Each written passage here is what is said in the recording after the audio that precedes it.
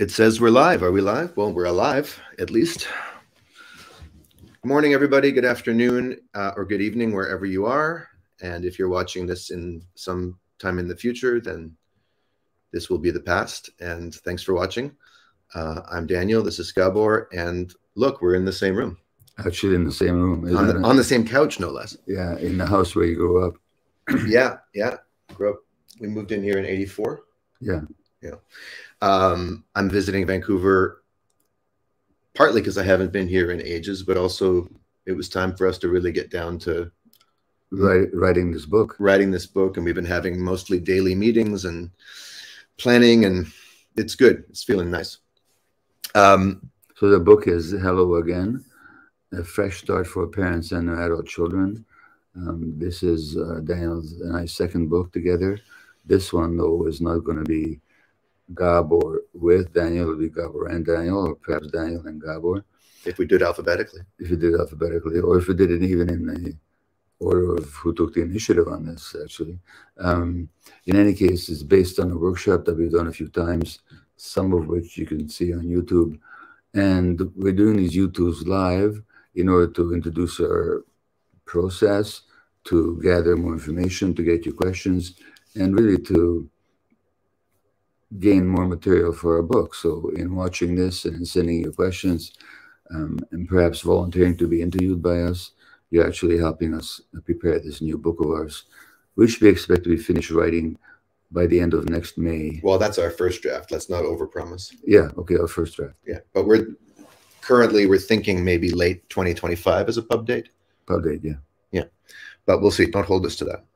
Um, yeah. And, uh, and unlike I'd say the last book, The Myth of Normal, this is the kind of book that as we're writing it, we have to be actively wondering about the subject ourselves and and and we're, we're, it's it's not like like with the myth of normal and living it right? Mm-hmm. Because it's about us and you and everybody. It's as far as i can tell a pretty universally relevant topic but it's one that we have not mastered and not only have we not mastered it in terms of doing it perfectly, and the good news is there's no such thing as doing it perfectly, but I don't think we've explored it fully either.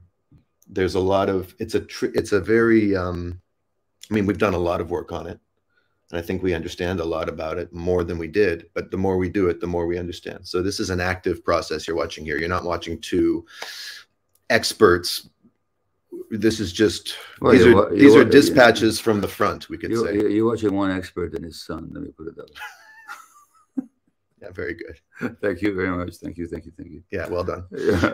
Uh, um, I want to say something. Well, so first of all, what's it like having your uh, favorite child in the house? It's been lovely. Yeah. Um, and I'm just so glad that we're finally down to this process of being face to face and writing the book because we've been talking about it, and um, it began to feel a bit abstract. That's right. Especially with all the hubbub around the myth normal, the other book we wrote together. So it's really good to have you here personally. Yeah. First of all, uh, it does feel different than other times. It does, yeah. And and then it's just also very good to be um, practically grasping the subject and working with it. Yeah, I'm glad it feels good for you. It feels good for me too. I've been very nervous about this book. Mm. And I, I wonder, I think some of that nervousness might have come across in the last live stream we did. Mm. Most of the YouTube comments were highly positive, but as always happens when we get on screen or on stage together to talk about this, people have reactions. Yeah. People have opinions. People see things probably that we don't see. Yeah. Um, and they're very sensitive to the little subtle um, moments of friction in our body language, yeah. in the way we speak. It often happens that in in certain crowds, many people come to this as a fan of yours, mm -hmm. previous to knowing I exist, and so some people, um, and on the last YouTube live, this is definitely the case. And I, I had to keep as we were doing it, the comments were coming up on my screen, and I just had to filter it out. Um, uh, but some people were noticing that I was interrupting you mm. or that I seemed um, what they perceived as hostile. Or one person commented on my sarcasm and noted that sarcasm is a sign of a lack of healing. Was there a, any, did you Was anything in those comments that you recognize as perhaps true? Oh, there's more than a grain of truth in in, in Yeah. everything. I mean, yeah, I should say, uh, you know, on on some of our YouTube videos from our talks, other people point out things they notice about you that surprise them. You know, Yeah. in terms of your body language being closed to me or a certain kind of whatever. I, I don't need to repeat it. Well, what's interesting about YouTube comments, I'm sorry to interrupt. uh, Yeah. quite apart from what they notice about interaction, say people are watching one of my talks on YouTube, and the comments range from everything like he's like Jesus walking on the water to this guy is sick, you know, and um, I think you're more like Jesus, kind of floating face down in the water, or or or uh, just kind of pl- splashing in the water. Let's say that. all right, fair enough.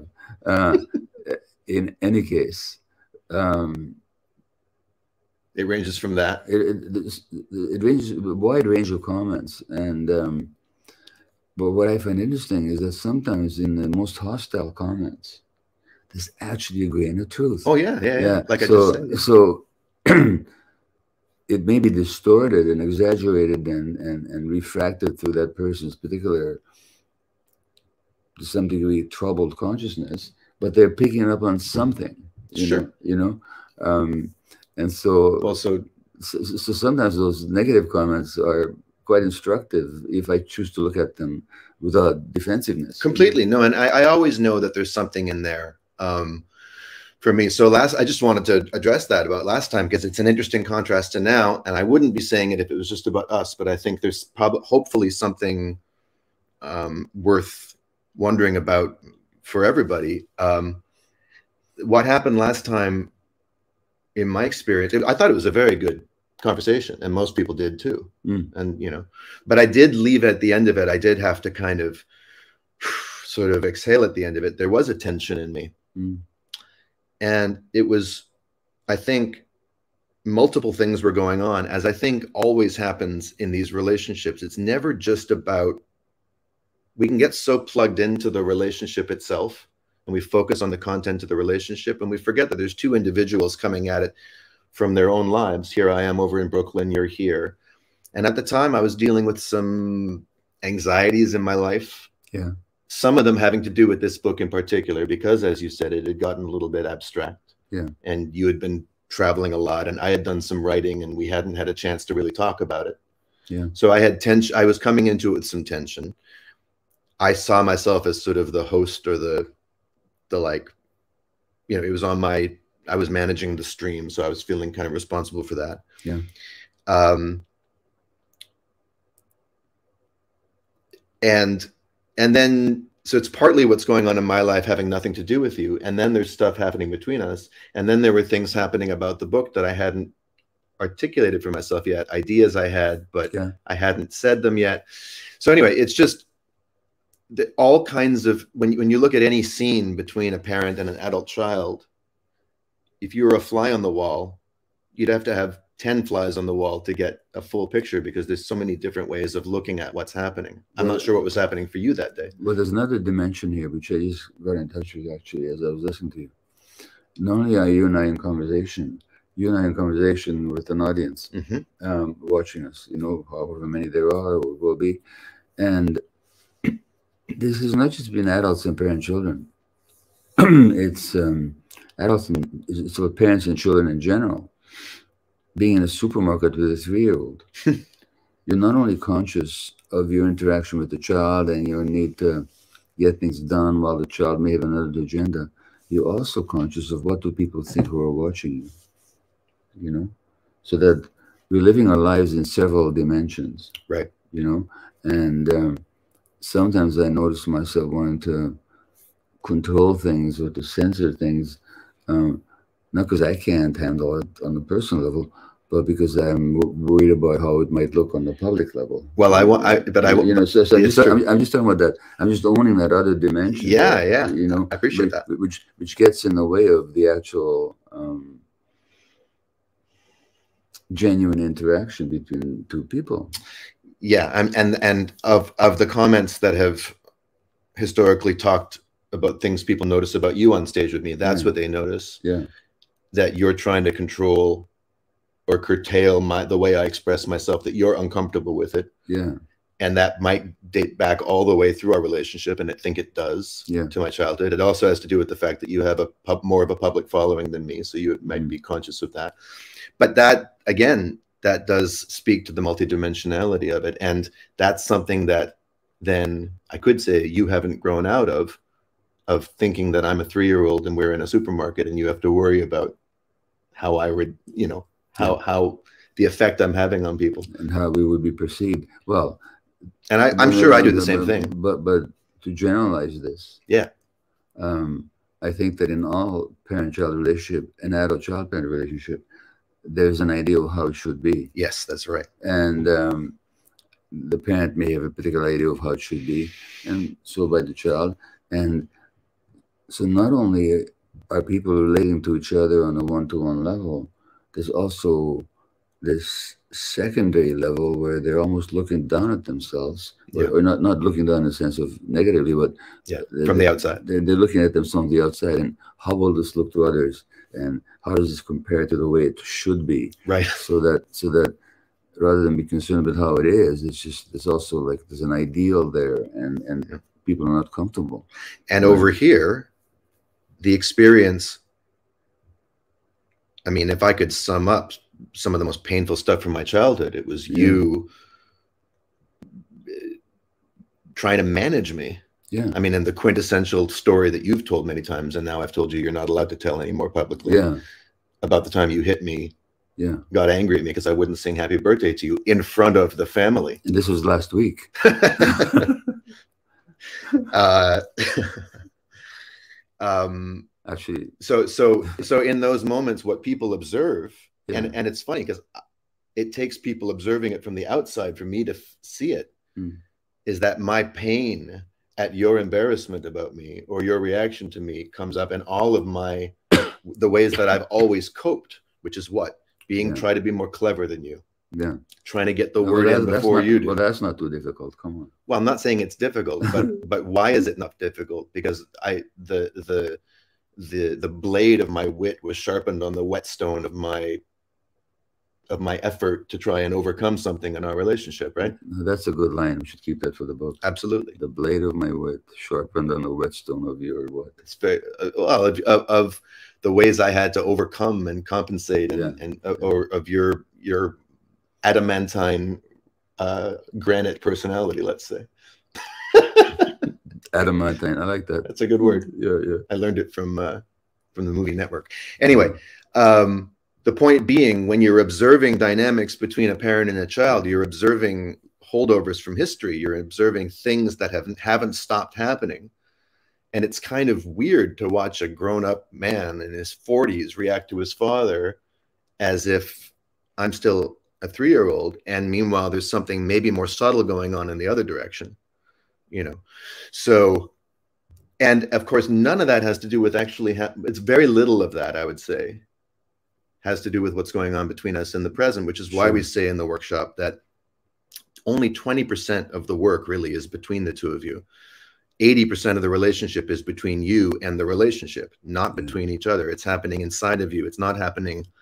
You know and we each have our relationship to this relationship you have this imagined version of me that you Yeah. project onto me and i have the same thing about you and a lot of it has to do with memory and a lot of it has to do with other things Which brings me, um, before we take questions, uh, to a couple of movies you and I have watched. yeah i, I last- thought it would be days. i thought Yeah. it would be a nice thing while we're working on this thing to to to view because especially since we can tend to get into our thing and think it's about us and clearly it's not this is a universal we've been talking about the mythic dimensions of it Yeah. it goes all the way back to the Bible, to the bible and, and then the Greek tragedians.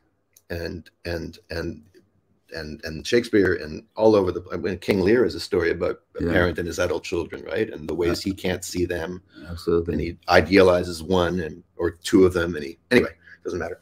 Um, so there's a couple of documentaries we've watched over the past few days that have they're they're they're very they've been very personally relevant for me, and I, we've really enjoyed watching them. So one of them was uh, a documentary by my lookalike.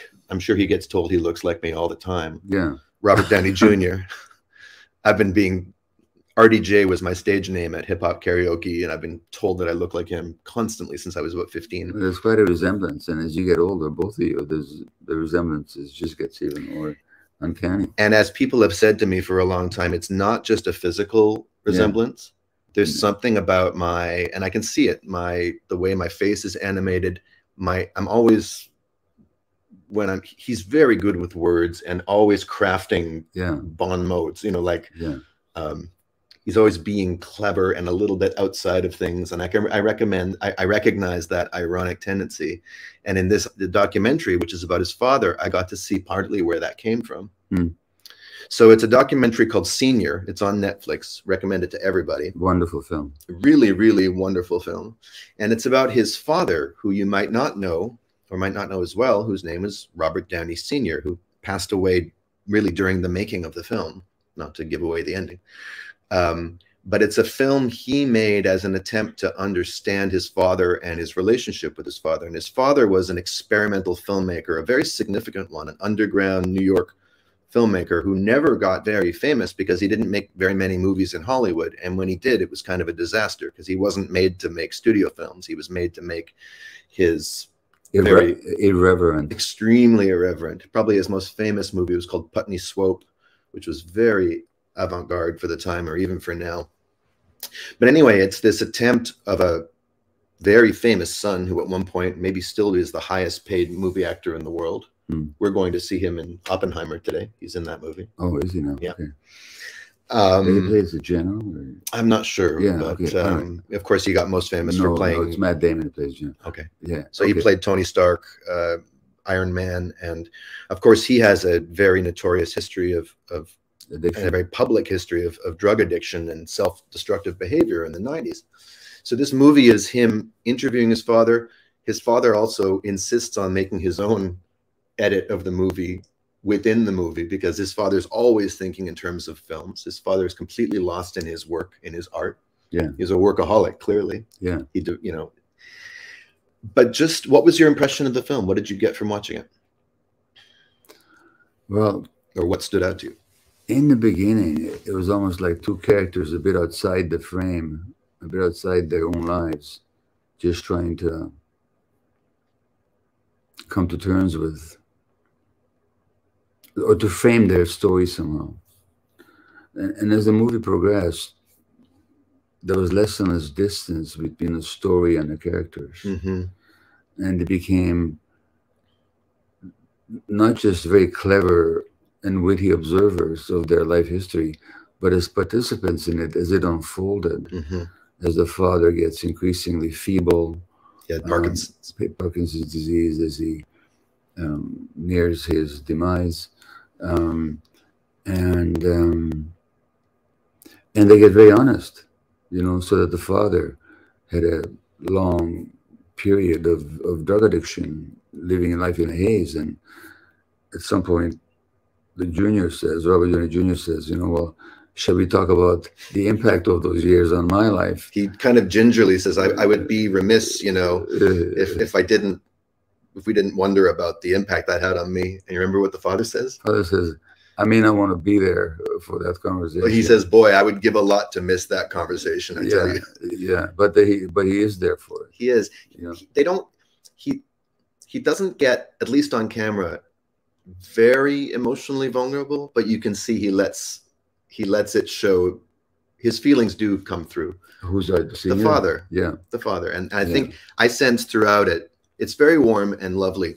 I did sense that Robert Downey Jr. was seeking something from his father that had been missing for a long time, Hmm. which was an ability to really be seen yeah. for who he is. Mhm. Robert Downey Jr. grew up on camera. Talk about people watching you, you know. Yeah, He grew up around movie sets with movies being filmed in his living room while he's sleeping in the next room with drugs and alcohol going on and a lot of creativity. his first uh, spoken lines as a as an actor were, "Is there hair on your balls?" Yeah, do you have any hair on your balls? Yeah, Which you have to watch it to get the context. Yeah. But he was six or seven when his father gave him that line to say. And it's cute and funny, but he also imagined what was that childhood like? Yeah, Very confusing, lots of excitement, and clearly his parents loved him, yeah, but no wonder he became such a little performer. Lots of stimulation. lots of constant stimulation Yeah. and probably a lot of anxiety that couldn't be you know seen and someone just commented that it's great to watch uh, it's, I appreciate seeing Gabor truly listening to Daniel and allowing him to fully express himself. I bet that took practice. Um, Well, that's the first, folks. Right, right here on camera. Gabor listens to Daniel. uh, it, it it happens sometimes. It really does, um, and it's probably happened. But the thing is, it was intermittent when I was a kid. But what I noticed about Robert Downey Jr. was I, I sensed a longing for that, Yeah. but also his own ironic way Yeah. of deflecting his own feelings and Yeah. making light of things. Yeah. meant that he couldn't just say, "Dad, I'm hurting," or "Dad, I You I know. was hurting. I was hurting," and "Dad, I really want to know you before you die." But as the movie goes on and the father's defenses start breaking down, he gets Yeah. more transparent, less Yeah. opaque. Yeah, So it's really, uh, it's a beautiful, beautiful portrait. And what I was struck by is, um, is was Junior's gentleness towards his father. yeah, You know, he may have been hurting inside. He, all first of all, he's done a lot of work himself. He got into yoga when he, you know, he. I mean, he nearly died of many times. He woke up uh, after blacking out in a neighbor's living room once, you know, and he was arrested and in jail a lot. And Mm. so he's turned his life around. I'm sure, and he's got a and he's got a family. he's got a family you know. and You know. and I actually think this is an important point. Is when it comes to what we call about forgiveness, um, from the child to the parent. Um, we may think it has to do just with what happened in childhood and the way parents may have hurt their kids and then the resentment or the anger or the pain that adult children hold on to that. But actually, I think it also has to do with what's happening in that adult child's life. Well, Let- sure. Let, let- let me finish this. I am letting you finish. I'm just agreeing. Okay, so that the more the child, him, her, themselves, create a life for themselves that they're satisfied with, the less they find there's to forgive, and the more perhaps they can identify the actual love that was also there all along. Mhm. You know, um, so it's a it's an interesting dance that doesn't just have to do with the facts of what happened, but has a lot to do with what's actually happening right now. Absolutely. Yeah. And I can use myself, my present experience is a perfect example of that. Oh yeah. So the last time I was, well, the last time I was here was to lead the Hello Again workshop last November, and I wasn't here for long. The time before that was early September, late August of last year. Yeah. The myth of normal was about to come up. Yeah. Being here was crushingly difficult for me, being in this house. Yeah. physically. I ended up in the hospital. I'm not saying it was because of you guys at all, there, but there was so much stress going on in my inner world when I arrived here. You're having a hard time. I was having a hard time. Yeah. I was stressed out about the book, and the dynamics in the house were reminiscent to me of things that stressed me out in childhood. Yeah. And my body reacted. Yeah. My body said, hell no. Yeah. And I actually had to leave and move out and move into my uncle and aunt's guest room. And the minute I did, my entire nervous system relaxed. Yeah.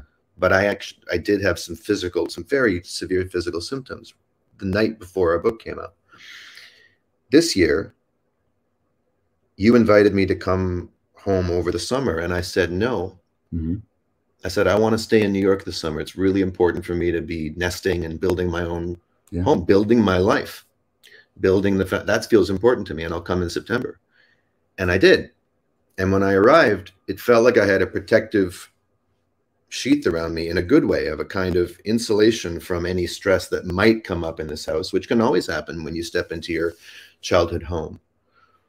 Um, but my life feels like a safe place right now Mm. and I feel proud of myself and grateful to myself for Mm. being true to that impulse of what that would take. So, of course, if I'm not struggling in my life, then when I see you, I'm not looking at a reminder of how fucked up I currently am or how far away from who I want to be I currently am Yeah. when I am struggling, it just is a fact that I'm I'm sifting through the consequences of my childhood. Now that's again not your fault, but this depending on where I'm at in that struggle, and Robert Downey Jr. seemed to be a lot more at peace when he made this film. Yeah. he was able to probably feel his feelings and probably even some hurt or some sadness. And he had a therapist he was talking to for support, but he didn't Yeah. need anything Yeah. from his. He might have wanted something from his father. He didn't need it. He didn't need it, and he wasn't demanding on it. Demanding and, it. And he actually wanted to celebrate his father. Yeah, that was also very important.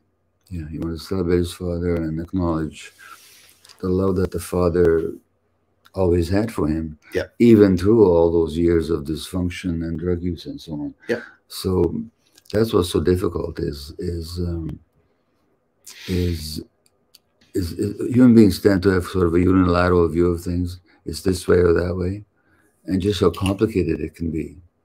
How great love can coexist with great hurt. and how the end of life i mean i don't think it was a coincidence that this happened first of all it, it with his father dying he wanted to make this film Yeah. but also he had all of a sudden life turned up the chronological heat because we only have so long together Yeah. now that's not going to happen for everybody and some of the questions we have today which we'll get to very shortly after we talk about the next film are coming from people who at this point even in middle age with parents who are getting older can't imagine reconciling with their parents you Yeah. know? and and nothing about our book is there's no shoulds in it we're not saying that um, anyone needs to prove anything or force themselves to do anything in this relationship but if you're moved to take on questioning the way it is and wondering if it could be otherwise then we want to help people explore that question Absolutely. Now, the second film we just saw is an example of that is an example. Now, this is um, one of the great influences on my understanding of child development and childhood trauma was the Polish, Jewish, Swiss psychotherapist Alice Miller, Mhm. whose book, um, The Drama of the Gifted Child, the German title of this was The Prisoners of Childhood, um, was all about child abuse and its long term impacts on the psyche. And um, it's a seminal book. It still is. It's a beautifully written book and it, it contains so many deep insights. And, he and she wrote other books and she was a fierce advocate for ending child abuse. She would write letters to the British Prime Minister, to the Pope. She would have a public platform, widely respected, read, and revered really internationally. we quoted her in the myth of normal And we quoted her in the Myth of Normal. Um, and what I didn't know until I watched this film is that her son, Martin Miller, who himself is a psychotherapist in Switzerland, was severely abused by his father, Alice Miller's husband, physically physically beaten every day of his life till he was 16 years of age. And Alice Miller not only allowed this to happen, even as she was advocating for children internationally, not only did uh, she allow this to happen, even, even afterwards, she would not acknowledge it. worse than that You know, and, and she actually gaslighted her son. in the form of letters Yeah. to him in a cold motherly tone which Yeah. get read out by a, an actor in, in the film because alice died in 2010 i think saying things like calling really calling her son a failure Yeah. uh, su- Right. subtly subtly or overtly criticizing him for the ways he has or hasn't healed from his childhood wounds and at one point saying hitler as a result of not healing his childhood look what he did to the world And you're like just like Hitler. and you're Basically. just like hitler No, you know, it's not a. We're not condemning Alice Miller here. I mean, No. she she had her own life, her own influences. Um, she was a survivor of the Nazi genocide. Um, clearly, a traumatized and troubled person, and I imagine it goes back to her own childhood. Um, but the difficulty for this man who's an adult in his 60s, I think, by the time this film is made, Yeah. who who moves so slowly and painfully, who's there's something seems broken about him. There's also a lovely childish sense of humor about him and presence, you know, but he really has suffered and he continues to suffer and resent his mother's absolute refusal to acknowledge any of his experience. And, and um, occasional cruelty i would say yeah, it's and and you know, there's an aunt or a cousin of um, of Alice Miller, who actually acknowledges the the, the, the son's version of the history. Um, but the painful gap between the public persona uh, and and and and uh, fierce, moral, uh, dedicated advocacy for children, and then this person who actually hurt her child so much mm-hmm. and could never even acknowledge it mm-hmm. is it, it's almost well it's it's biblical or shakespearean in its drama absolutely you know? and, and, yeah. and, it's a, again it's a wonderful film and uh, it's called who's afraid of alice miller yeah someone asked that and her son wrote a book called uh, the true drama of the gifted child which is a book i need to read so what am i saying it's a shocking film but my god people it's just so complicated. Yeah, and now so I found out. I'm the one who told you about both these films. Yeah. I found out about it because yeah. not he told me about both these films, folks. He gets the credit. All right, that's enough. That's that. that was unnecessary. That was okay. that was uncalled for. Okay, I take it back. Yeah, uh, there's a reason I'm saying that. I'm yeah. not looking for credit. I know you're not. I'm thanking the people who brought this film to my attention. Yeah. Because not a few people contact me and say, "Hey, you know what? I've watched your videos and I've hmm. seen the way you react to your father, and I've seen the way he reacts to you on stage. And I want you to know that I also have a, a parent who's very famous, or at least yeah. has a public profile that does not yeah. match my experience of them. Yeah. And I want to validate for you the special difficulty of that. And I'm wondering if you've heard of this of Martin Miller's case because you couldn't get a more stark example. With us, it's a lot more subtle because you, part of what makes you famous is that you go out there and you admit that you had limitations as a father. You know, and I had limitations as a father. Oh, you said so, not me. I said that I had limitations. Yeah, I think so. I think I can find some video evidence of you saying that. okay. I think sometimes a few books maybe. Yeah, I think sometimes when I'm mm-hmm. scrolling through Instagram, all of a sudden a reel comes up of you talking about how you treated me. You know. Yeah. It's it's complicated. Yeah. It's comp and it makes it more subtle for me to stand up for myself or articulate my own version because yeah. you've already gone out there ahead yeah. and gotten out of the head ahead of the thing, as PR people say, you know. Yeah. So that's a special not everyone has that. Yeah. But um but no matter how you slice it, however the relationship looks, it's complicated and it couldn't be otherwise. And I've said this many times, I said it last time. The nervous system that's sitting on this side of the couch was conditioned originally by the nervous system sitting on that side of the couch. And so when this nervous system, which is a 48 year old in a couple of weeks, nervous system is sitting around this one, which is an older version of the one that I first encountered. You want to talk about triggers? Well, a stranger on the street can trigger memories of my childhood, but I'm sitting next to you. How much mm. harder it is is it for me not to be triggered, not to be triggered, to stay yeah. in the present and our book is called A Fresh Start for Parents and Their Adult Children. We might have well called it a present moment start, which means many fresh starts over and over again. Yeah. Well, I'll have things to say about that, and we will in the book about how to stay present, because that's really the issue, not just in this relationship, but in all relationships, about how to stay, how to stay present in the moment and not be acting or reacting under the influence of things that happened long ago. Mm -hmm. um, these two films I have we have, we both highly recommend them. I think not just as entertainment, but as instruction as just real slices of genuine life. Um, should we take questions? Yeah. Someone's asking, how can it? They're just incredulous about Alice Miller, and I would say, you know, never meet your heroes.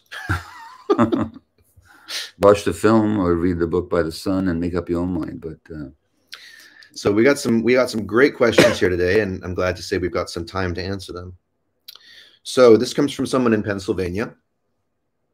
This December will mark the fourth year my daughter, I guess the fourth year since my daughter told me during a phone call that she was cutting me out of her life. Hmm.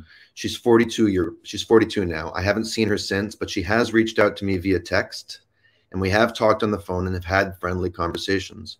I respected her decision and decided to give her time and space to heal and told her the door is always open. My questions are how do you know if and when it's a good time to reconnect? Do you wait for your kid to reach out or what? How do you know if you are ready when you are still feeling the pain, shame, and anger? So I have things I could say, but do you want to take it first? Well, what have you got to say? Well, I'd say, first of all, one thing just to acknowledge is your daughter hasn't entirely cut you out of her life. That's right. She had to say that at the time. She needed to hear herself speak those words. And that's how she felt at the moment. That's what it looked like to her in that moment. And I would guess, I'm just speculating here, but the act of being able to say that, because I, she, she was never able to say that as a child, and she may have wanted to, you know, she may have wanted to get as far away from her parents as she could in certain moments. The act of asserting herself in that way and setting that boundary. Sometimes when we haven't learned how to set boundaries, as a kid or when we had to work way too hard to set the boundaries and i think that was the case, case for me we get stuck in sixth gear with them we can only set the boundary by setting it in a very very flagrant kind of amplified way Drama dramatic. a dramatic way. So we yeah. can hear ourselves say it. And sometimes it's because i'm not saying this is ca the case for you the mother who wrote this but sometimes it's because the person we're setting the boundary with won't listen otherwise. You know if you if you say no and someone keeps going then you scream no. And if you scream no and they keep going you might have to use force right?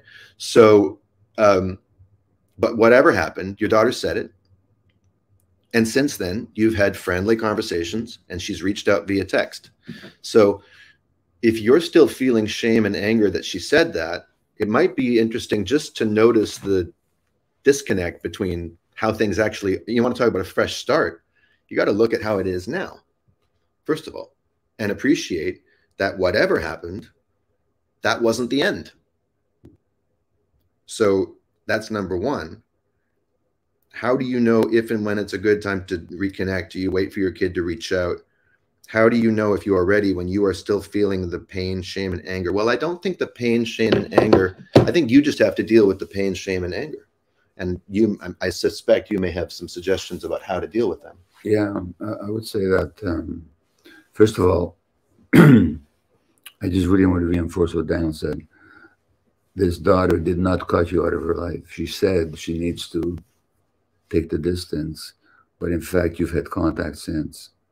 So rather than being hung up on the words she used on that day, consider that whatever pain or need for separation she may have experienced, she has not shut the door although she may not have opened it either to the degree that you would like, but there's still a relationship there. And just allow yourself to feel that. Because that's the reality. Allow yourself to feel that, oh yeah, my daughter's still in touch with me.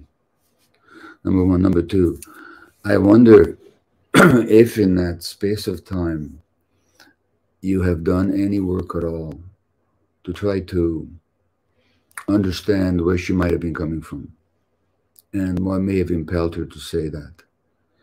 Because um, not to, this is not to say that you're guilty and she's innocent. It's, we're not making those judgments.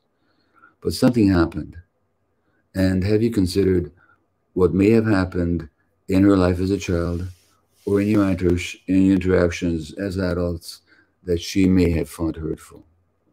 So have you just considered it have you tried the, the just the most difficult thing for all of us in any relationship, spousal, friendships, certainly this adult child relationship, is to stand in the other shoes just for a moment.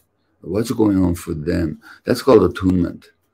Attunement is our capacity to understand the internal experience of the other. So, have you tried to do that? Now, maybe you have, maybe you haven't, but if you haven't, I suggest you do. Um, the next point is check in with that pain of yours because I totally understand it. I felt pain in my interactions with my adult kids. I have. But when I look at it more deeply, the pain that I felt in response to my adult kids is not a new pain. It's a pain that's familiar to me. And so some of us carry pain for things that happened long before we had kids then that pain gets triggered by our kids, but it originally wasn't caused by our kids. Mm -hmm. In that sense, we're responsible for understanding with accepting, investigating, and nurturing our own um, selves in the face of that pain. So I would suggest you do that work. Um, there is a psychological spiritual teacher called Byron Katie, who's written a book called Loving What Is. And she teaches something called The Work. You can look up thework.com, I think. Just just Google it. You can drop, she does free events. It really gets you to deal with your own stuff in response to somebody else rather than making it about the other person. I highly recommend it. As to when you're ready, um, you're ready whenever you feel like it. And if if you can reach out to your daughter and say, I, I just wonder if you're ready for more, more conversation and contact now. Because if you are, I sure would be. That would be great, as long as you're not hung up on the answer. Mm-hmm. If you reach out to her and you're expecting and attached to a positive response, don't do it because you may not get it.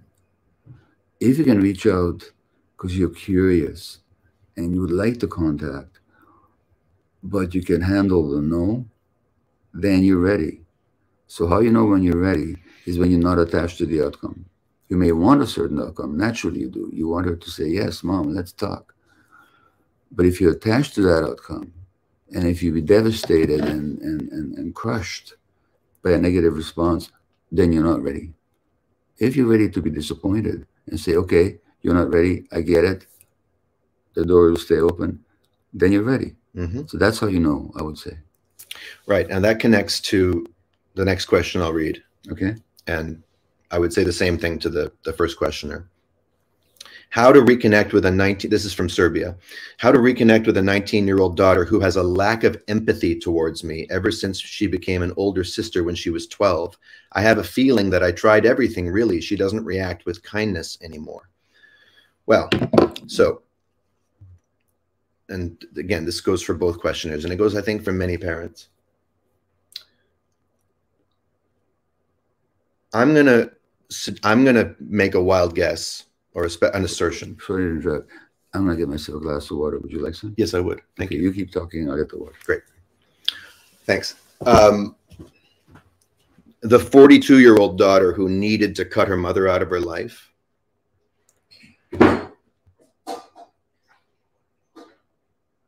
Well, we cut people out of our lives when being around them gets in the way of our healing, gets in the way of us relating to ourselves, being able to grow into the people we want to be. And there was something about that relationship with the mother, I would assert or guess, that was complicating. Like I said to you earlier this year, because you were telling me I'm not responsible for your wounds anymore, Daniel. I, well, I'm not responsible for your wounds. I can't heal your wounds. Yeah. And I said, yes, you cannot heal my wounds, and you wouldn't be doing him any favors if you tried. But you do have the capacity to reinfect my wounds like nobody else on the planet. And that just is the way it is which means I have to be more vigilant and more careful in terms of how I interact with you than I might with other people, right? So now one of the wounds that kids often carry is that their parents needed something from them that was never the child's to give. Yeah. You said, my daughter has lacked empathy for me ever since she was 12 and she became an older sister. Okay. The implicit demand on your part, the feeling of need that you have, your deficiency in the sense of needing a 12 year old to Yeah. empathize with you. Yeah. And I'm not saying this to make you wrong or accuse you of anything.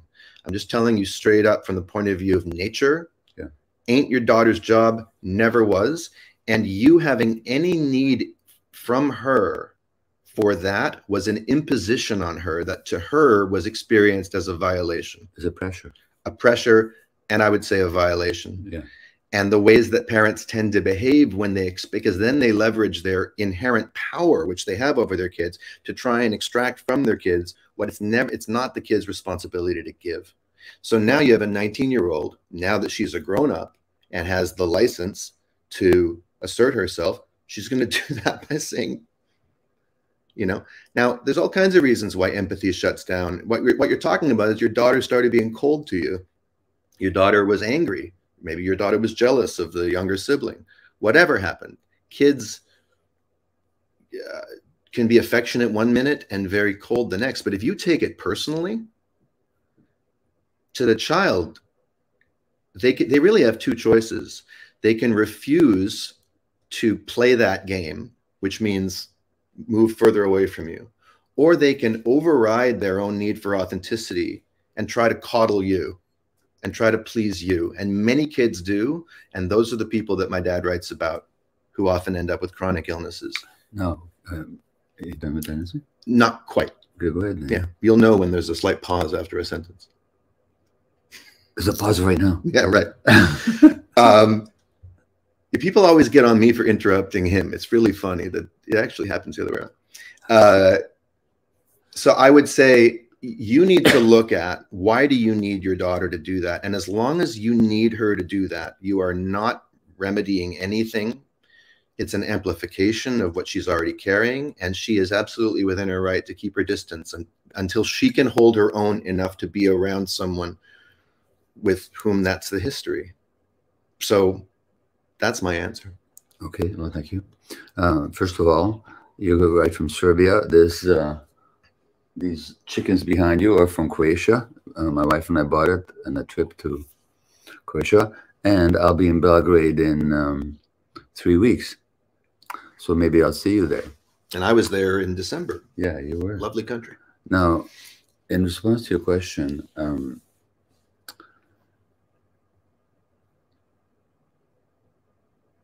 yeah, um, your your your twelve year old job your 12 year old's job was never to have empathy for you. Um, something happened for her there.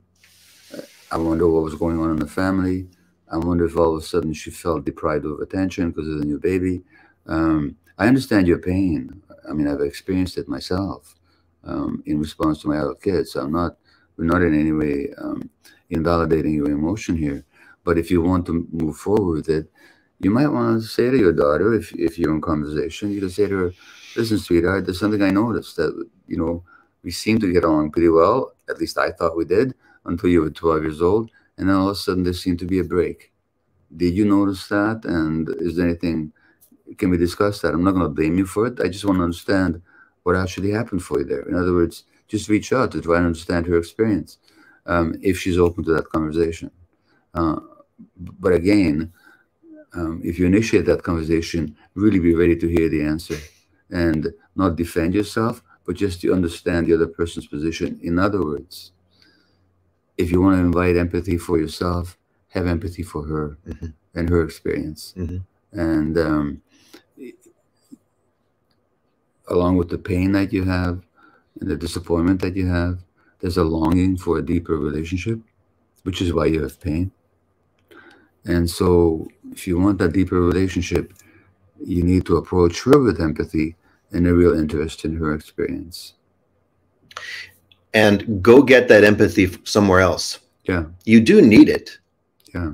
Go find it where it is where it's available. Where it's available and where it's fitting to look from it. Friends, a spouse, a lover, a therapist, nature, you know, anywhere but your daughter who's trying to learn to have empathy for herself the best way she can. And she's trying to be an individual. And she's 19.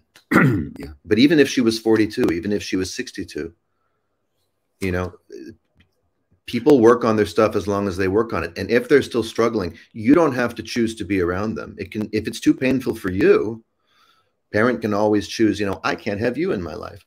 But what you can't do is expect them to give you something that was never theirs to give. Yeah. So anyway, I hope to see you in Belgrade in uh, in a few weeks. Yeah.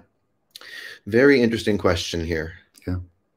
Uh, and I, I like this question because it's more systemic. It's more about, it's a bigger picture. Okay. Many adult children of boomer parents are recognizing the unhealthy systems and patterns we inherited through generational trauma we went through a defiant cathartic phase where it was a meme to mock and blame boomers for all the wrongs in modern society. I don't know if ever anyone remembers this hashtag OK Boomer that was very popular a few years ago, mm. which is basically a way of just taking the piss out of an entire generation of people. And it was very, very, um, it caught on very quickly. Mm. Millennials, especially, but also people in my generation. um, which is somewhere between millennial and Gen X. Um, at this point, it feels like kicking down because the millennials are healing and ready to contribute to rebuilding, while many of our living boomer parents are in their later decades of life and still hurting. Peace is deserved and available at any age, and as adults, there is, there is a desire to care for our elders, a natural, cyclical impulse that our anti compassionate culture discourages. How can we honor our parents and help them into their own conscious healing when they have spent a lifetime on guard and in toxic self sufficiency? And in some cases, in toxic narcissistic tendencies. I can't tell you how many millennial people come to me in my mental chiropractic practice and tell me that they're they just realized that their parents were narcissists and i would guess that this is a more prevalent thing than it ever has been before for all kinds of historical reasons well it's a very complex question let me give a stab at an answer first of all narcissism um, nobody's born a narcissist in fact i should say everybody's born a narcissist, but nobody's born programmed to stay a narcissist. So narcissism is a certain phase of development where kids think that it's all about them. A healthy phase. It's a healthy phase. The baby thinks it's all about him. I mean, look, a baby doesn't have to say a word, and when they're hungry, food appears in the form of a bottle or, or, or a female breast. Um, if the baby's tired, they're put to sleep. If the baby's uncomfortable, wet, they're changed they don't have to say anything. They also have no concept of any consciousness outside their own. No. There are no others. No, there's no sense of other. So they're pure narcissists. And it's a developmental phase.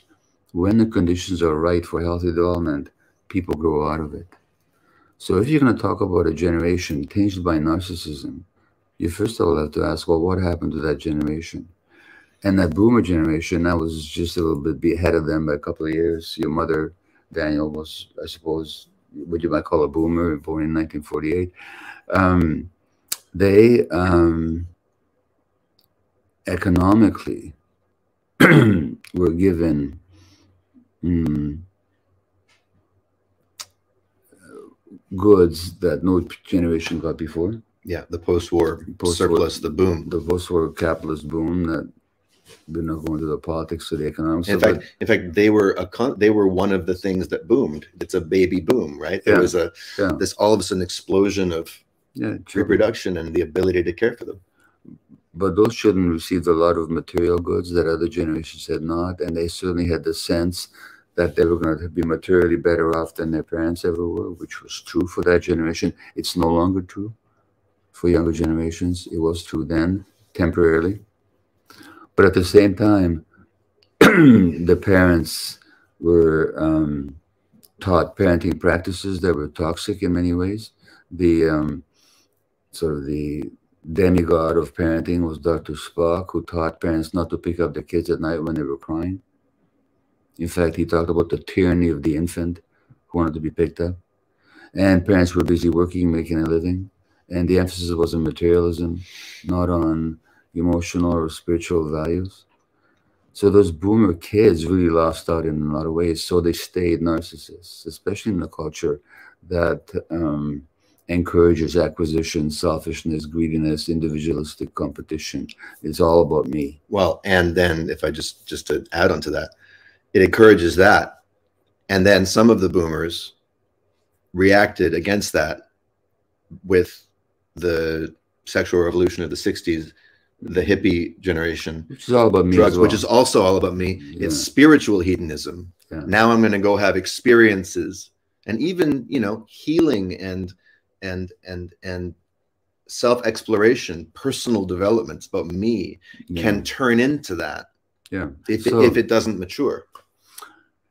So to go back to the question, so first of all, if you're able to have some empathy for their experience despite whatever hurt you may have experienced from them. Um, that would help if you want to help.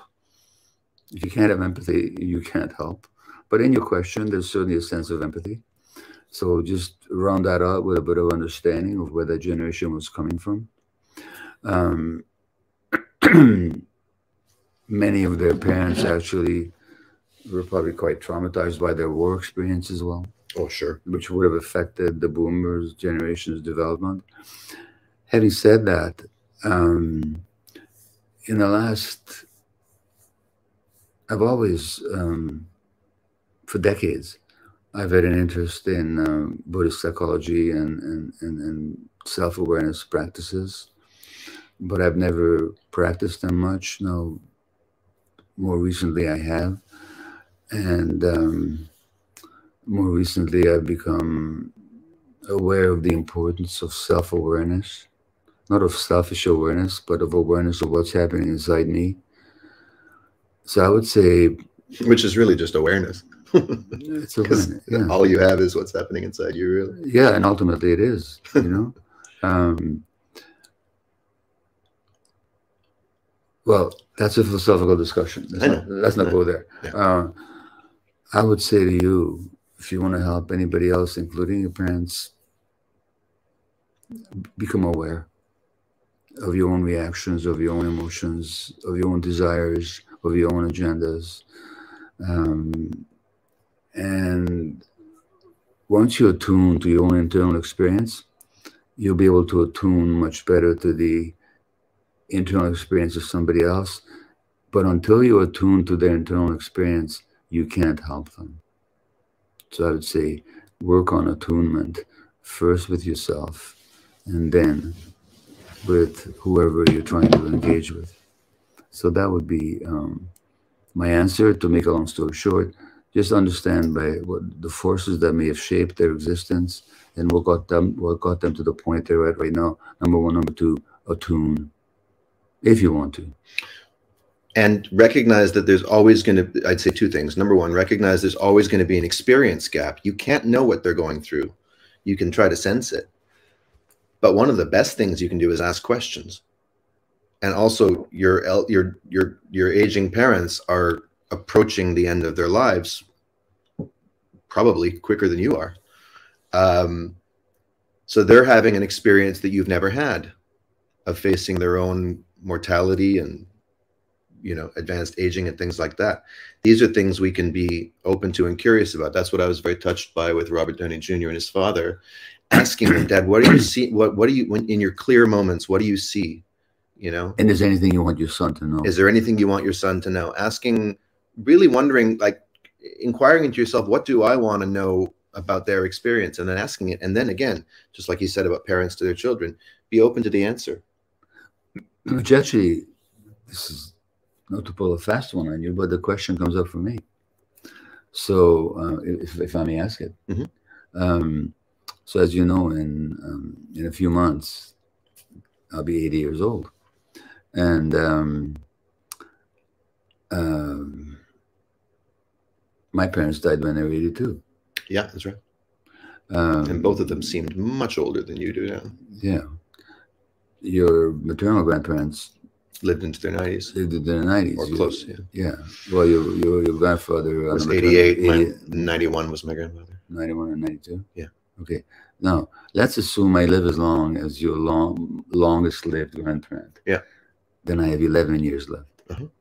Okay. And who the hell knows if I have 11 days left? I mean, you just never know never Do you, as my son, this is not this totally open to the question. Mm -hmm. Ever think about my death? I do. And uh, the fact that it's numerically there's not that many years left, and does that thought in any way influence your current interactions with me?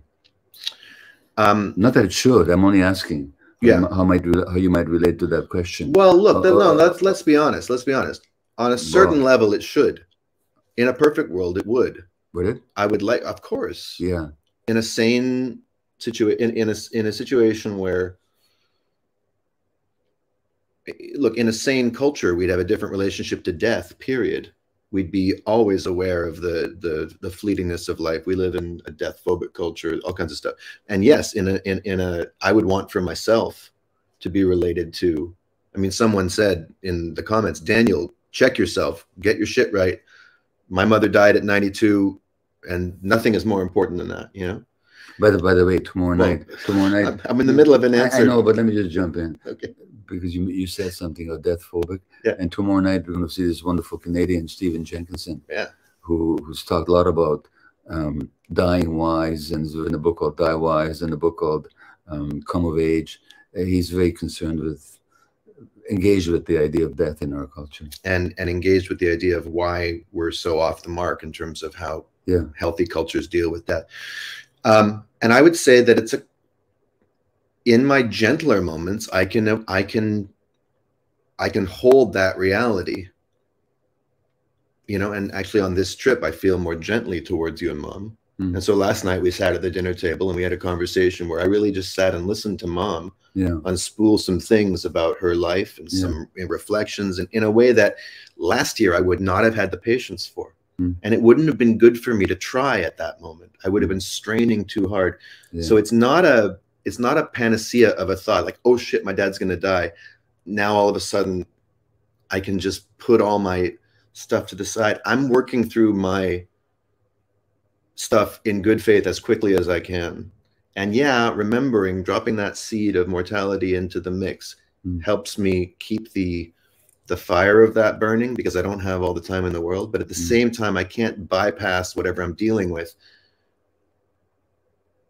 unless it gets to the point where I'm like, okay, I'm just going to put that stuff to the side. I'm just going to be with you until it's over, and then I'll deal with it. Okay. So look, again, I'm not. I just think it's interesting. No, I know you're not. You, you asked an interesting question, and I think I gave you an interesting answer. And I'm It's a complex answer. and I'm gonna come back with another question if I may. Yeah.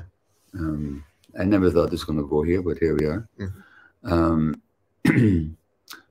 so, if I ask you to drop into that idea right now, this very second, I'm not going to do it in front of the in front of the whole world like this. okay, then that's That's fine. that's that's too. Uh, That's out of bounds. yeah, because you know what, Yeah. it's it's just too personal and it's too it's too complex. I can't I can't do it with um with people watching. Well, okay. That's not my job to do that with people Well, watching. there's no expectation that you would. Yeah. Fair enough. Is there another question? Well, but I will say this. no, I, I will say this. Yeah. If I drop into it just a little bit, just Okay. dip a toe in, which is about as far as I feel safe doing in this moment. Okay. And partly, actually, that growth for me is learning what do I feel safe doing in a moment? What do I not feel safe doing? Yeah. How much of a boundary do I need? Yeah. Boundaries are best when they're flexible, like an immigration policy that can change. The, the border can get looser or tighter depending on what's going on inside the country, you know? Fair enough. and it's contextual. But as I, if I drop into it, I just drop into like, wow, I'm pretty glad we're doing this right now Mm. while we're both here. This is a Yeah. pretty cool thing to be doing with Yeah. this part of our lives, Yeah. Yeah. That's great. you know? Um, anything other than that feels like trying to make something happen, Forcing something. forcing something, which is exactly what, and that, and of course, trying to force something triggers the parts of my nervous system that brace, that tighten up, and Yeah. that don't want to be around you. Yeah. and I can't I can't hack that system. I have to work with it, learn about it. I mean, this this is he- healing 101. yeah Fair enough.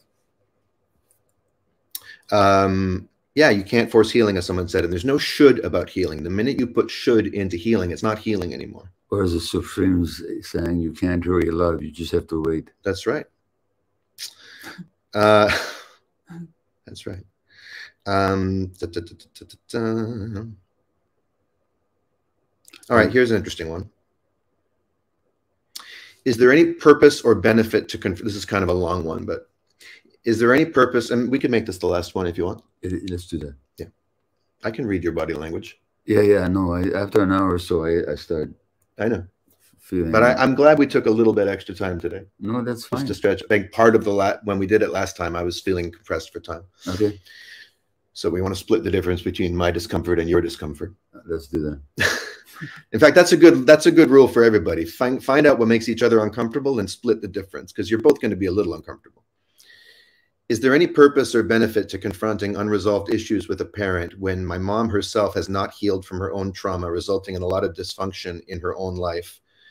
And then there's, you know, there's a divorce going on between the her parents now, and she's just she's, you know, she has a horribly offensive and very skewed, twisted views of my dad. I don't seem to be able to ignore this and continue the same previously fairly good relationship I had with my mom because my relationship with my dad is the best. But my mom has struggled with addiction, chronic illness, almost died many times, and all I know it's connected to her awful childhood trauma and multiple kinds of abuse from her own mother and brother at a very young age. I think this has influenced her ability to receive unconditional love from a spouse, which my dad has always shown her. Yet her perception of things is extremely off, so she doesn't see things this way. She calls him an abuser and more. Anyways, I don't think that any productive conversation of resolution and healing can occur between her and I about this because simply her perspective, her reality, is not factual. Yet she wants to come stay at my house. We are in different states. And I would say that you are in different states in more ways than one. Yeah. And act like everything is normal and good. And I can't. It would be fake on my part to do so. Okay, let me just quickly mentally chiropractic this a little bit. Okay. Yeah. Her coming to stay at your house has nothing to do with any of that other stuff. The question for you is do you want to be around her right now as she is? Now, you seem very sure that her version of events is not factual, which she says to me that your version of events is factual. That strikes me as a pretty shaky place from which to start in dealing with anything difficult in life, actually. Just being right and assuming that your version of things is the whole, complete, and total truth and nothing but the truth, and that someone else's version is completely and totally invalid. And there are all kinds of reasons, I think, to at least question the notion that one person who remembers a relationship as ideal and wonderful is right, and the other person who remembers it as quote unquote abusive or painful or difficult is 100% wrong. That strikes me as just based on what I know of relationships and people, you might want to question them. But what I'm hearing is that you find your mother's version of events very painful. It's hard for you to be around her version of events right now. Well, that's your difficulty and you get to own that. But to make it about her version of reality is not real, it's not factual, so on and so forth. That your relationship with your dad is the best, and your relationship with her was good until this, and now she wants to divorce him, and all this kind of stuff. Um, there is certainly some favoritism going on. You prefer one version of events to the other, and the fact that they're at odds, you can't resolve that contradiction. It's up to you if you want your mother to stay with you. And it may be completely, you know, you started the question by saying, um, is there any value or purpose or benefit to confronting unresolved issues with a parent when she has not healed from her own trauma? Well, there may not be any purpose or benefit in discussing it with her, but you're going to have to, you can confront it without discussing. But that, look, as long as you think she's completely wrong and you think you're completely right, no, there's probably no benefit in talking about it with her. Absolutely. And that would be true in any relationship. That's what kind of conversation is that? No. And, and that would be true in a political conversation. If I'm sure that you are completely wrong and your point of view is completely invalid and mine is completely right and I know everything, why would we even talk about it? But in a personal relationship, so much more. No, I would say, first of all, um, let's acknowledge your pain here. This mm -hmm. is mm-hmm. troubling to you. Yeah. Uh, you're asking the question because you are troubled by it. Um, uh, you want something genuine, you, you, you like a, a, real relationship with your mom, and right now you don't see your way to having it. So let's acknowledge that, okay? Um, at the same time, I would tell you, you have no idea about your parents' actual relationship. You think your mother was traumatized and your father was not. That ain't the way it is. I'm telling you, 100% of the time, people marry people exactly at the same level of trauma that they're at. That's just how it works. It's like water seeking its own level. So if your mother was traumatized, so was your dad. the way he copes with it may be totally different. Um, but I can tell you, in a relationship between two people, when one of them is acting it out, almost for sure, there's something going on between the two of them that you don't see, then you have no insight into, then you have no idea of their history before you were born. And furthermore, the fact that you feel closer to your dad now, um, and I'm glad you feel close to your dad, but it means that you're just not the best judge to know what's really happening between them. So I would just echo what Dan was saying. if you're not ready to be around your mother, then don't be if a version of history is so troubling to you that you can't abide it, um, you're under no obligation to do so. But if you want to be wise about it, be aware that you don't really know what happened between those two people. You don't really know uh, what their internal experience is. Um, and um, from that point of view, you may want to be curious or you may not want to be curious, but whichever you are, I would echo my son's uh, advice that drop this idea that you think you really know what's going on, because I believe you do not actually. Yeah. Um, so the honest thing to say to your mom, if you're not going to have her stay, would not be, Mom, until you get your mind right, I can't be around you because you're out of touch. The honest thing to say is, Mom, this divorce is a shock to me. It's a shock to my system. I don't know what to do with it. I'm confused. I'm upset. And I don't know what to make of the fact that you guys have such different recollections. And I, in your recollection of it is so different from mine. I find that so disturbing to my peace and equilibrium that right now I need to not be in a situation where that could even come up. Yeah. And I'm sorry, I don't have the capacity to host you right now. Yeah, that's that would be an honest thing to say. Okay, um, I think that brings us to a close. Um, we thank you for your attention to us and certainly for your questions, um, which continue to challenge us and to give us more material to work with. Mm -hmm. um, any final comments about how to follow this stuff and what we would like from these people, if anything? Yeah, well, um, so at least one of the questioners um, uh, wrote in their email to us that they'd be willing to be interviewed for our book. And we are compiling a list of people who'd be willing to, you know, so if you think that your particular story, your situation would be interesting to others and and shed some light on this or yeah i'd say that that would be the question like do you do you want this to be in a book about this topic? But, but no not necessarily with your name identified right.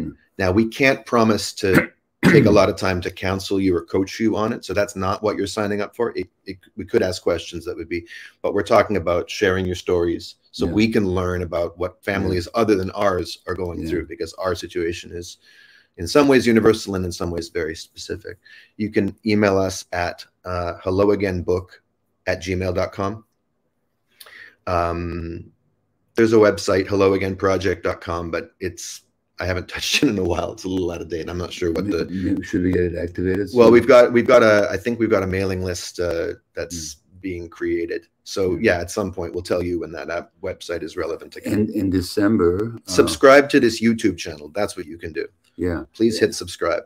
In December, below the video. In December, we're doing a live event um, in Topanga, California, mm -hmm. at a mm-hmm. place called the Commune. You can check out the Commune website. It's going to be a very limited number of people who can. I think the applications are already in, but the good news is it's being filmed and it's going to become. Oh, okay. it's going to become an online course that you so you can basically experience the yeah. what the workshop is like remotely. Yeah. Anyway. And we're going to keep doing this as as schedules allow. You're you're traveling for the next few months? Yep. Um, i'll be gone to the uk uh, london scotland and then um, through the former yugoslavia prague transylvania hungary um, for the next um, month and a half or so they really like you in hungary for some reason mm, maybe because I speak the language perfectly well. so when are you back? I'm back at the end of October. Okay, so maybe in November we'll yeah. we'll reconvene and do this. I really enjoyed this. Yeah, it was a nice conversation today. Thank you. Yeah, and we by speaking out loud to all of you out there, I think we have original, we have thoughts we haven't had before, and that's exactly what needs to be happening right yeah. now. So thank you. Thanks. Be well, everyone. Bye bye.